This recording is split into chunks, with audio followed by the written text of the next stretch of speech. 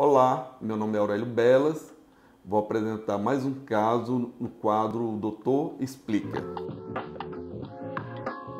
Essa paciente que morria de medo de dentista, ela se queixava da parte estética, ela sentia dores na articulação e precisava de enxerto ósseo. Ela nos encontrou pelas nossas redes sociais, veio aqui para Brasília e em uma semana nós havíamos terminado todo o tratamento dela, inclusive o enxerto e o implante. Fizemos o mock-up.